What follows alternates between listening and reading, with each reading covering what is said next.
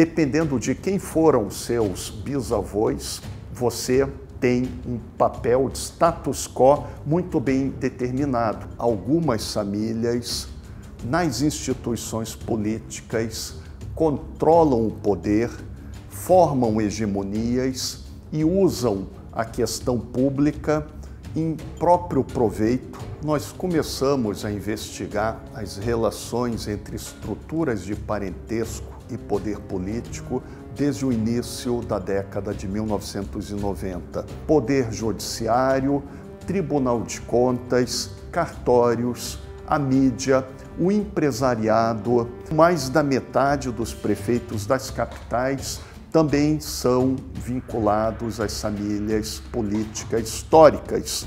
É o caso de Curitiba, o Rafael Greca de Macedo. família Macedo é uma das famílias políticas mais importantes em Curitiba e no Paraná.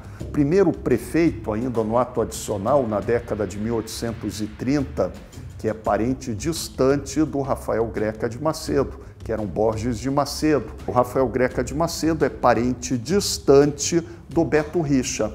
Eles são parentes distantes da Rosângela Wolff Moro, a mulher do juiz Moro. Beto Richa, filho também do ex-governador José Richa, a sua esposa Fernanda Vieira Richa, que era da família Andrade Vieira, do Banco Bamerindos, do capital financeiro, e nós temos muitos parentes, primos. Poucas famílias ocupam o governo no Paraná. Atualmente nós temos a família Borghetti, da governadora Cida Borghetti, seu marido, deputado federal, ex-ministro Ricardo Barros, a filha, a deputada estadual Maria Victória. Por exemplo, na Câmara dos Deputados em Brasília, dois terços praticamente, a gente tem quase 70%, são de deputados originários de famílias políticas, já chega a mais de 62%.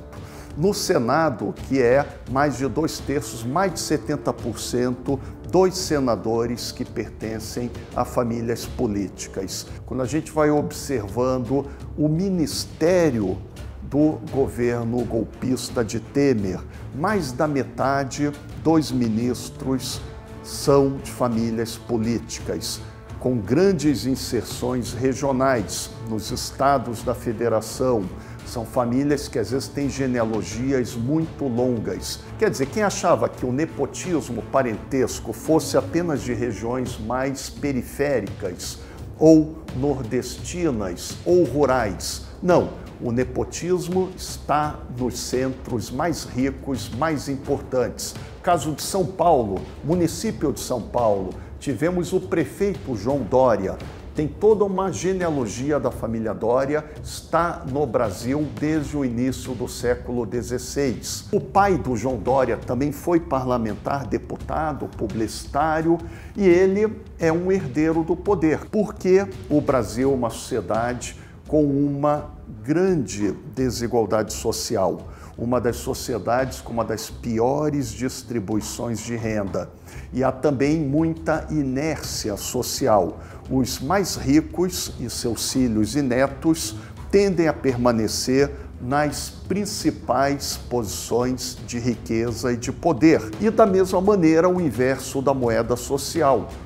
Todos os descendentes, os herdeiros da senzala, da escravidão, tendem a estar nas piores posições na periferia, menores rendas, são vítimas não é, da violência, o genocídio da juventude negra. Este é um tema central para entendermos o Brasil, Paraná e Curitiba. Há uma relação histórica, estrutural, de longa duração isso pode ser empiricamente pesquisado e quantificado. Temos o grupo de trabalho sobre genealogia, parentesco e poder, temos mais de 15 orientandos. Uma conclusão que nós chegamos, a meritocracia ela é muito artificial e imaginária, porque o que vale para alcançar o poder, a riqueza, status quo, as melhores posições, quase sempre é a hereditariedade temos pouquíssimos ou não temos, por exemplo, negros no poder político, trabalhadores, poucas mulheres. Quando elas entram, quase todas têm vínculos de parentesco também, como mulheres do poder em famílias tradicionais.